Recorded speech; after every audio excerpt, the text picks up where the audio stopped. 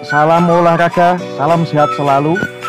Kali ini saya akan memberikan tutorial bagaimana cara melakukan gerakan senam lantai salto ke belakang. Namun sebelumnya kita pemanasan dulu, melakukan peregangan supaya nanti tidak cedera dalam melakukan kegiatan ini.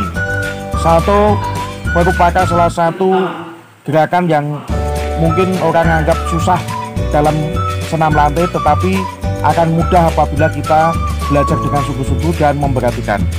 Pertama yang kita lakukan kita belajar untuk mengayunkan tangan ke depan dan ke belakang ya. Dari atas ke bawah tarik.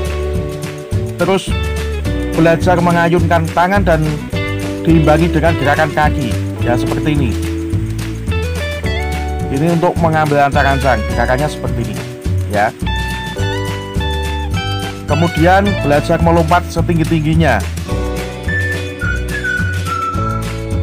Ya, kita akan memadukan antara ayunan tangan dan lompatan.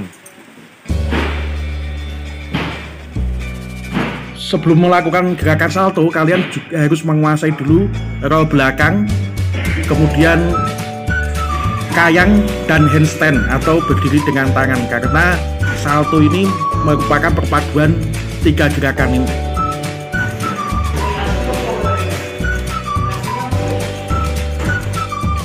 untuk pemula berlatih dengan temannya yang pertama posisi gerakan ngayang kemudian ada dua temannya yang membantu untuk memberikan lecutan atau melentingkan tubuh temannya ke belakang Lakukan latihan ini berulang-ulang sampai hafal dari posisi kayang, kemudian lecutkan kedua kaki ke belakang dengan pendaratan berdiri dengan kaki rapat dan tangan lurus ke depan.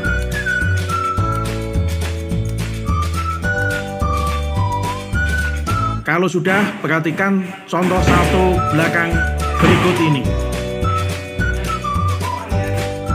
Awalan salto belakang, pertama berdiri dengan kaki rapat, kedua lengan lurus ke depan. Tolakan, turunkan lengan dan ayunkan ke belakang, lutut ditekuk hingga setengah jongkok. Ayunkan kembali kedua lengan ke depan atas, bersamaan dengan tolakan kaki yang kuat, kepala tegak dilipat ke belakang. Bersamaan dengan tolakan kaki yang kuat, kepala tegak dilipat ke belakang, kaki dilentingkan dan diputar ke belakang dengan cepat. Saat melayang, badan melenting, kedua kaki diayunkan ke belakang, badan melayang. Saat melakukan pendaratan, kedua kaki mendarat berdiri rapat, dada dan kepala terangkat, kedua lengan lurus ke depan. Kita bersama-sama akan mencoba melakukan gerakan salto belakang. Yang pertama salto dengan tanpa landasan atau melayang. Yang kedua, salto dengan tumpuan tangan. Yang harus diperhatikan ketika perputaran kaki harus cepat. Jadi nanti jatuhnya langsung kaki, tidak kepalanya dulu.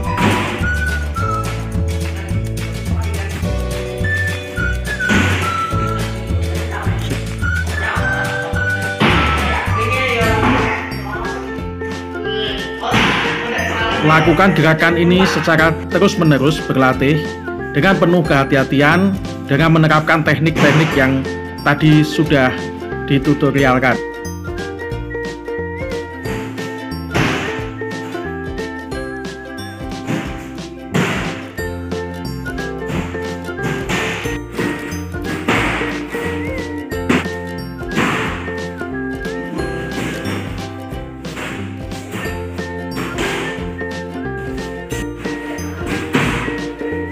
Mudah bukan melakukan salto belakang?